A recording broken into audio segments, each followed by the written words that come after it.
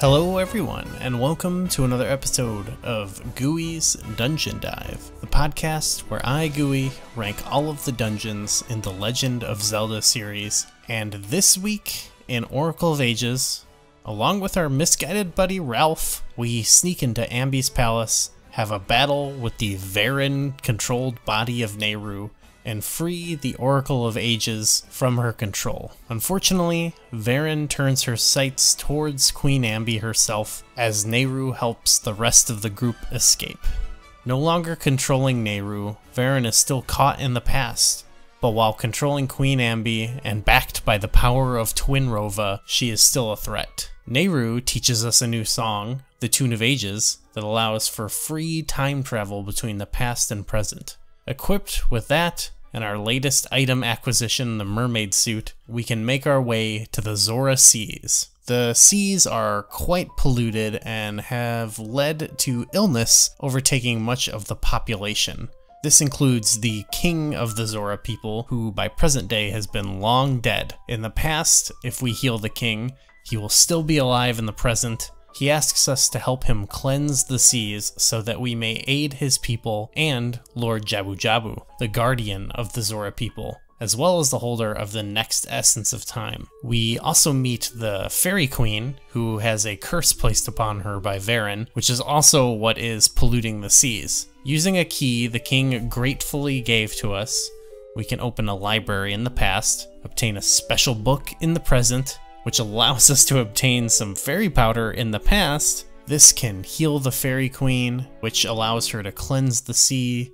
And then finally, with King Zora's permission, we can enter our next dungeon, which is Jabu Jabu's belly. And here we are again in the belly of the beast. Taking a cue from Ocarina of Time, we have maybe the most unique setting in Oracle of Ages. It doesn't have all of the same charm of the Ocarina of Time Jabu, but it does have some nice little touches. Instead of the regular walls of like a the Oracle or Link's Awakening games, the walls of this dungeon actually do have a little bit of like animation to them that make them look like they are part of a living organism. Also, we get some of that aquatic life floating about you know, it's a valiant effort at uh, translating that sort of vibe to 2D. It's also worth noting that the map itself, like Ocarina of Time, when all three floors are combined, it does look like a fish. So needless to say, this is probably one of the most complicated dungeons in the series, though like its Ocarina of Time counterpart, in that this dungeon takes place within the belly of the Zora Guardian. In its structure and gameplay, it is more similar to the big head scratcher from Ocarina of Time, which is the Water Temple primarily because this is another dungeon where the key to progression involves altering the water level between the dungeon's three floors. Why does Jabu Jabu have this mechanism inside of him?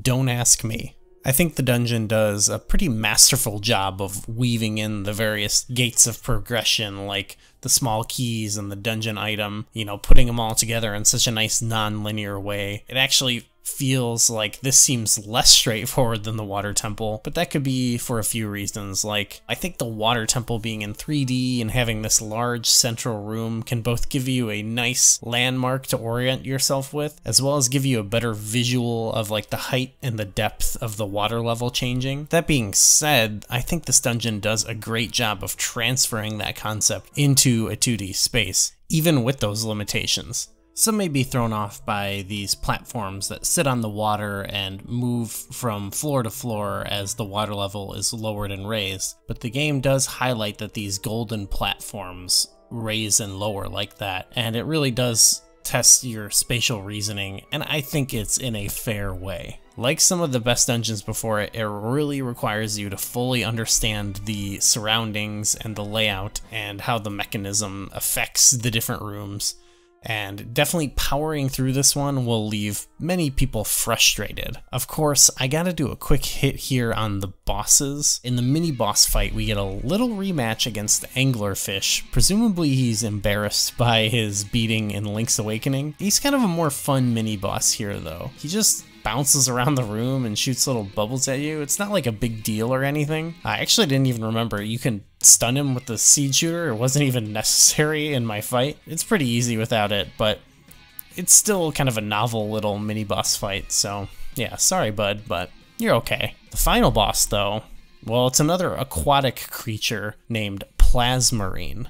Plasmarine is a jellyfish that alters between two colors, red and blue, and kind of in a similar style to many bosses that have come before it. When it's one color, it shoots that color attack at you. The key to defeating it is allow it to fire at you, then use the switch hook or the long hook, the dungeon item, to swap its color and its location with you, which now puts it in the path of the attack of the opposite color, which it's vulnerable to, and then you just repeat that for a while. And it's not too hard, but it does give a bit of a challenge, and it's fun and satisfying to pull off, you know, putting it and using its own attack against it. That's satisfying. and in its defeat, we are able to pick up that next Essence of Time, the Rolling Sea. The mystical song of the sea roars into a crashing wave that sweeps heroes out into adventure. But of course, evil's deeds are not done, as we see Twinrova and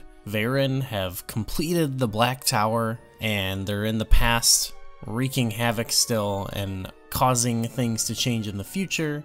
And so it's going to be quite the time trying to find the last essence, which the Maku tree cannot even sense.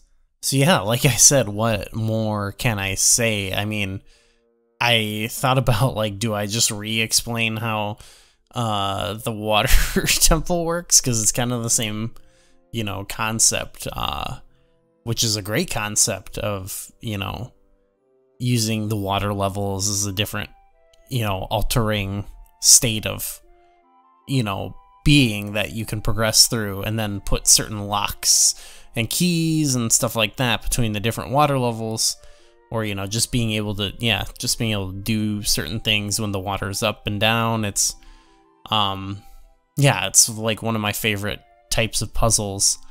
Um it certainly yeah makes for even with the time travel thing in in mermaid's cave it makes this one of the most unique dungeons we've encountered here. And I'm thinking if I'm ranking the Ages dungeons, I think it's got to be the best, right? Um, yeah. I think this is the best one in Ages. It's certainly more ambitious than any of them, even though it is just, it is kind of got all, almost all its ideas from a different dungeon. Um, so maybe Mermaid's Cave would win out on originality, but I think this more than makes up for it in just being a really well explored concept. So that, I mean, that puts it. Does it crack top five, though? That's what I want to know. Like, if I'm. Uh, I, I guess we've got Water Temple and Great Bay up above it, which are the other water based ones other than Swamp Palace. And the question is, where does it rank amongst the water-based dungeons? I can, again, kind of see the argument that people have said about, like, I've seen a lot of people say this one's kind of a headache, and I do think maybe the 2D element adds to that. Actually, I don't know. I think the way it's constructed and all put together is like really cool. um, uh, most of the issues are more. I think, yeah, if you just aren't kind of doing your total diligence, it can just be confusing to like navigate around, but that's kind of the point, I guess. Um, I actually think the way it weaves everything together at times is more interesting than uh, the water temple. But I don't know. I hmm.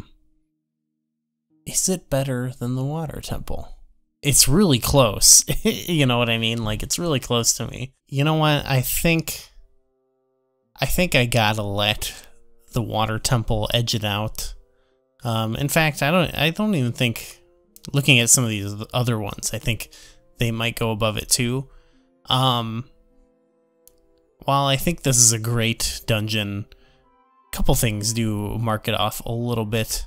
I think um I didn't really mention it in the other video either, but like I think the mermaid suit is not I don't really love getting around in that. and um you know, I think I was kind of dismissive like the there's elements of like the water temple with the boots or whatever that have been kind of remedied that kind of factor in or like some people have an issue with the swimming in certain versions of Great Bay Temple or whatever. But um, I think the mermaid suit might be the least my least favorite uh, water navigation of the three of them, and that accounts for a lot of the movement in the dungeon. So it's a little, you know, I, it's this is kind of a minor squabble. I'm just trying to like figure out how to place it, you know, because I, I feel like it's not something that I like hate, but I feel like that can kind of count against it a little bit. That and of course what I mentioned about like the layout and the you know nature of 2D, it it does fall a little bit short.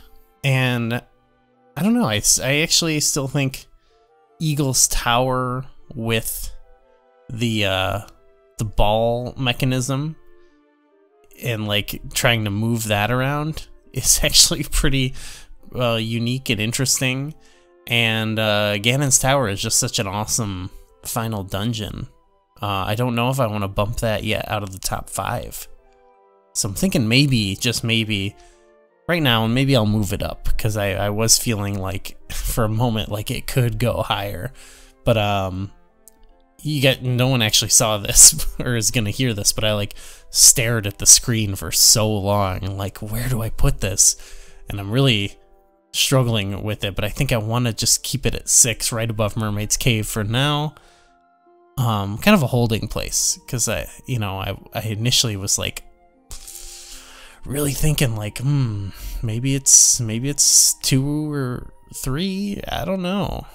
Let me know though. Let me know what you think. I I think this is like kind of a safe place to put it for now though. It's really well done, and in certain aspects, I think it does better than Water Temple. It is kind of just like, hey, let's kind of translate that. Um, which they did an awesome job, so don't get me wrong. So, yeah, really strong dungeon, and I'm looking forward to seeing what the kind of next main dungeon in the game, the final one, I guess, uh, brings us. So, uh, two more episodes after this, though, so I'll see you next week.